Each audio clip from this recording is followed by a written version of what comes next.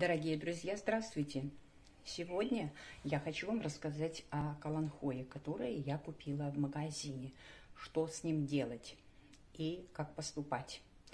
Ну, во-первых, прежде чем вы задумали купить этот цветок, то вы должны подумать, куда же его поставить.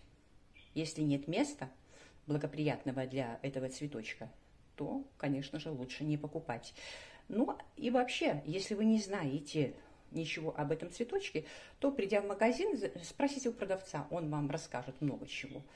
Или же зайдите в интернет, почитайте. Ну, я хочу вам сказать, что этот цветок любит свет, но не прямые солнечные лучи. Почему не прямые солнечные лучи?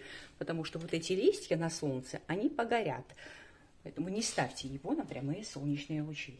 Вот сейчас у нас февраль, таких цветков в магазине очень много. И видите, они уже начали цвести, потому что выгонку делают в основном по 8 марта.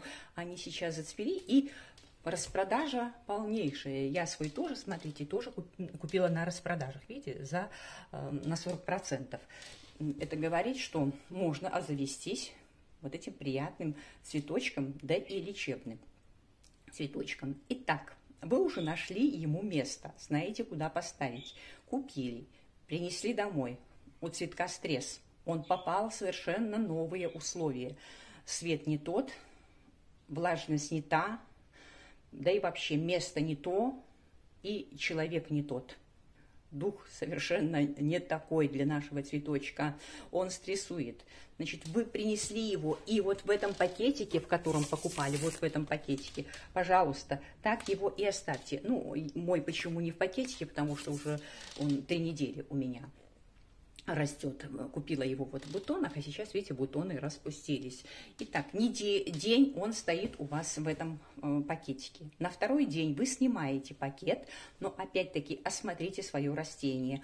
Может быть, оно больное, может быть, э, есть какие-то ползучие вещества или существа, вернее, здесь, жучки-червячки. Поэтому осмотрите, обработайте фунгицидами их, э, чтобы ничего не было на вашем растении и не перенеслось на другие. Поэтому не ставьте рядом с другими цветочками.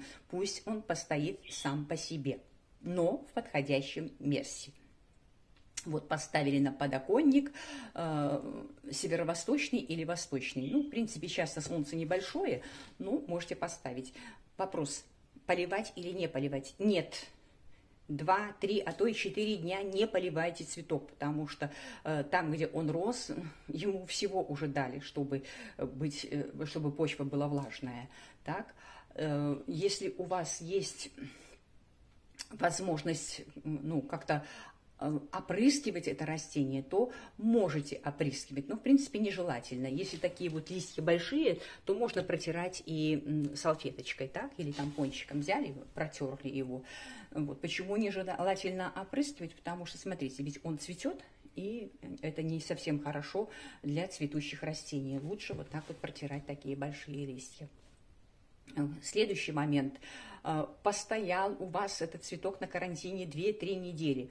Вопрос, пересаживать или не пересаживать. Некоторые пытаются пересаживать его в тот же день, как принесли.